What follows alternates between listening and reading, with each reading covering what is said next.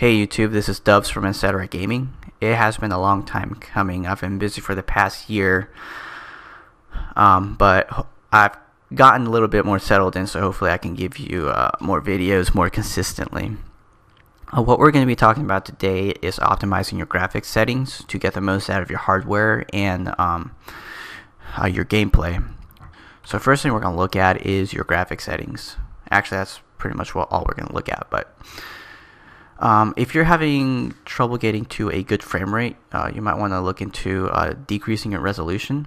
Uh, the higher the resolution, the more your graphics card needs to work. So, um, decreasing will, will, drastically help you get more frames. Uh, next thing you want to do is turn off vertical sync. Uh, this is personal preference. The reason I do it is because having vertical sync on increases input lag, and that's not what I want. Um, but also keep in mind that it does typically increase screen tearing, but it doesn't really bother me. But if it bothers you, um, that's kind of your preference. Um, make sure mo motion blur is off. That's, again, it's one of my preferences. Okay, so now we're going to get into the bread and butter of uh, Battlefield graphics.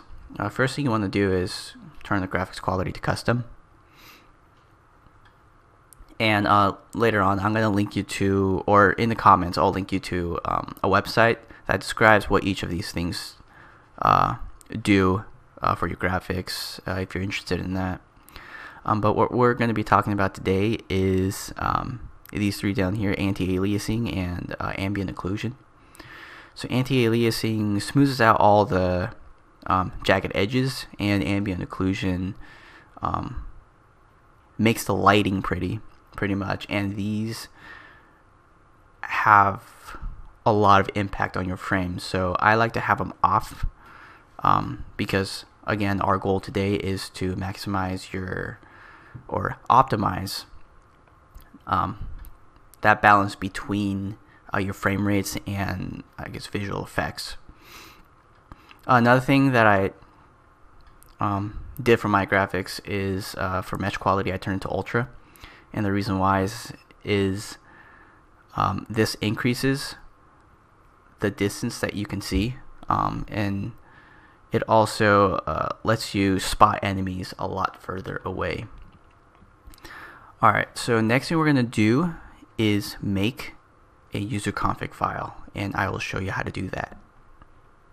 Alright guys, so to make a user config file, what you are going to do is right click on the desktop, select new, text document and you're going to name it user.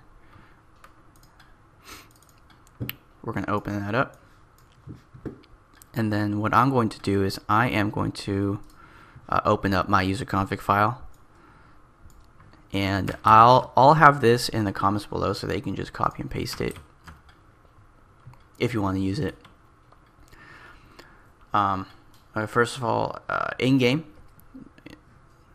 when you slide the um, motion blur bar all the way to the left, it doesn't completely turn off motion blur. So this bit of uh, command here uh, turns that off completely. And what a user config file is, is uh, it's a list of um, in-game commands uh, that the game processes before the game starts. Um, so vsync just turn that off. Um, force render ahead limit, uh, what this does is um, it tells your GPU how many frames it should render at a time ahead of your current frame and it's to uh, reduce screen tearing. Um, and again the purpose of today is to increase or maximize your frame rate um, as opposed to uh, eye candy. Um, the overlay draw FPS this makes so that your uh, frame rate pops up in game on the upper right. Okay, so this one right here, game time max um, variable FPS. This puts a cap on the frame rate that you want.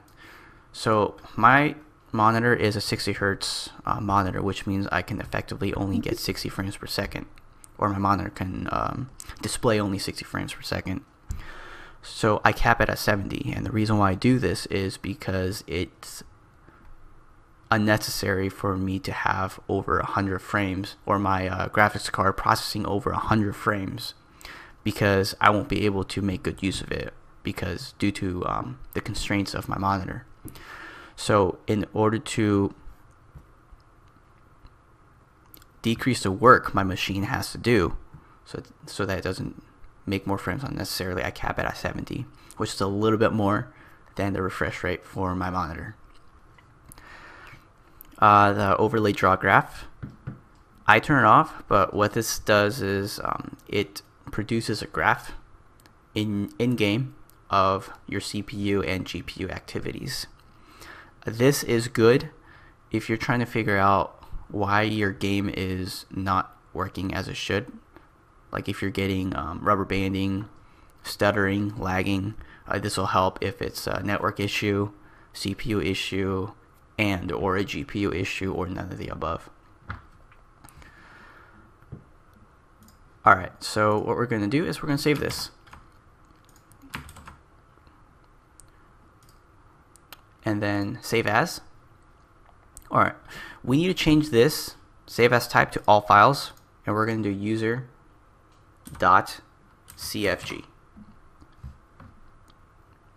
Save.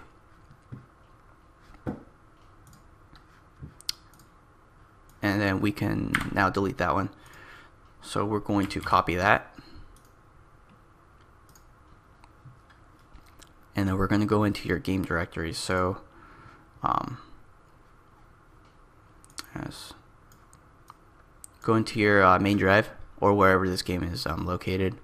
Uh, program files, um, x86 for if you have uh, a 64-bit OS, or just program files if you have if you're on 32. You're gonna go into Origin Origin Games, Battlefield, and this is gonna pop up, and you are just going to paste it in there, and that's it. You don't have to do anything else.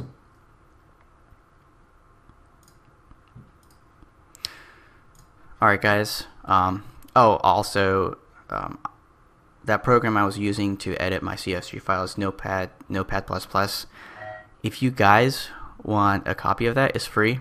Um, I'll link that below in the comment as well. Um, that pretty much uh, concludes uh, today's uh, tweaking session. So um, I hope this helps out for those of you who are having um, frame issues.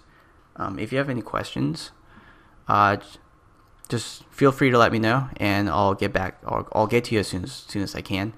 Um, in the meantime, uh, thanks for watching, and I will see you next time.